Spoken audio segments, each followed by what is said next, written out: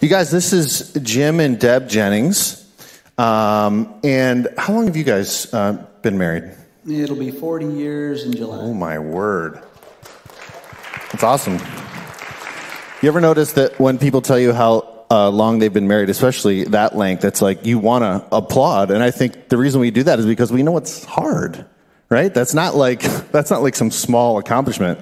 That's a big deal. Forty years. So congrats on that.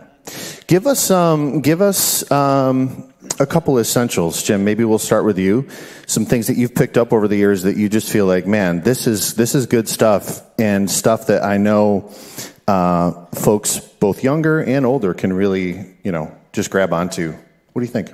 Yeah, for me, um, definitely essential. Starting from the beginning, like we said, we've been married almost 40 years.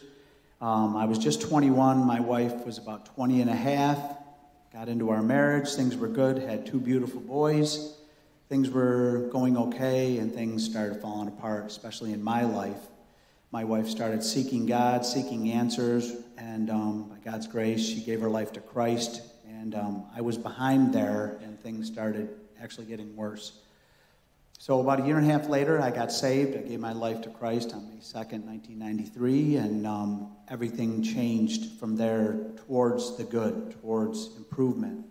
Um, and the essential thing that I found and still find today is it was the truth of the Word of God that, that I started looking at instead of my own ways. Um, the Word of God gives us wonderful principles right from the beginning when He created Adam and Eve and that one flesh relationship and how important that is. It's very special. There's no other relationship like it. And I started to understand that more and then um, started understanding the New Testament teachings and the word love itself and the different meanings in the Greek and what that means and what that means to our relationship and what it means for me to understand that. Words like agape and phileo and eros and all those things that, that matter. Words matter. So um, it, the essential thing for me was to understand God's ways, what God wants from me as a believer first, but then as a husband next, and even as a father.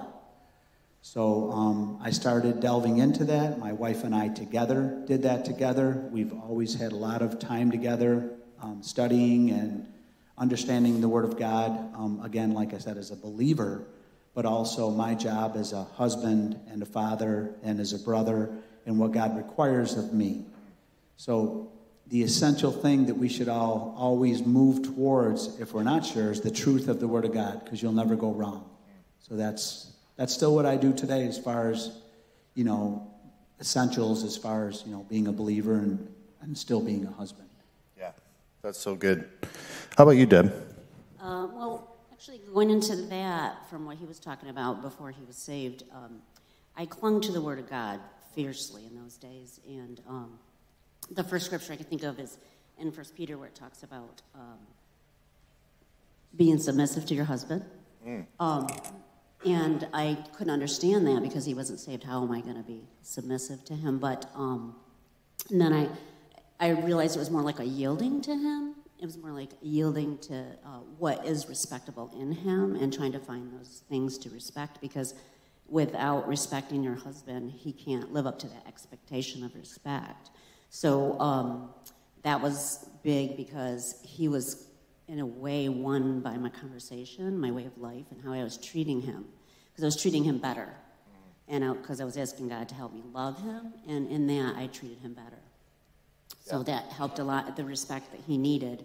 I mean, even if your husband, you don't think he deserves respect, you can find something to respect him about, whether yeah. it's even a physical attribute or the way he organizes or whatever, you know. So he'll try to live up to that expectation for the most part. Yeah, that's awesome. It, it's so interesting, right? I mean, certainly the Holy Spirit's doing that work, right? He's drawing you guys to His Word, and um, you get the added benefit, right? Of course, you're, you're drawing closer to Him through that, but the added benefit is, boy, that makes your marriage so much stronger, right? Strengthens that in so many different ways. It makes the way that you parent your kids uh, completely different, right? Um, so that's so good.